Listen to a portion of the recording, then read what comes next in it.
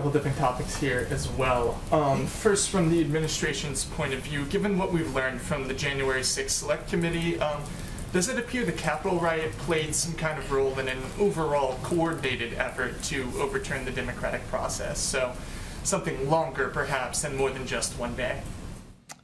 Just so I understand your question, are you saying, uh, talk a little bit more, tell me a little bit more what you're trying to ask. Yeah, sure. So there's the isolated events of that day, but there's Yeah. also the investigation that goes back much further and spans more time. Does it appear that there's that sort of longer throw there than just what occurred um, on January 6th at the Capitol, based on what we know from the Select Committee? Well, I'm not going to speak for the select committee, and obviously they will speak for when the conclusion of their report will be and what details. I, I would note that uh, we have conveyed our concern in the past about uh, the fact that many Republican members of Congress have stood by the big lie since then. Uh, they were outraged uh, at the time about many of them about the events uh, that happened on January 6th. Who could not be? Who was watching them?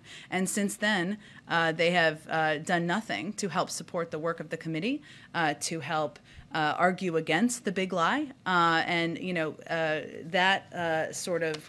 Um, lack of action, inaction, silence, uh, you know, is something that is irresponsible as well.